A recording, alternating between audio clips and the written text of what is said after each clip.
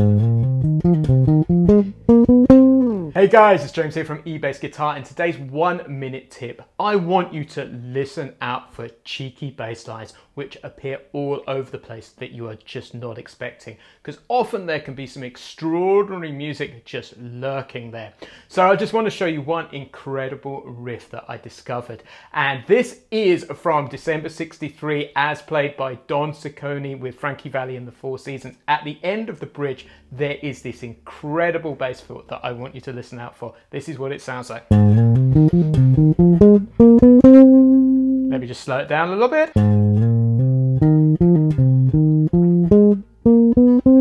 Super slow. Now back up to tempo, check this out. What a super cool riff.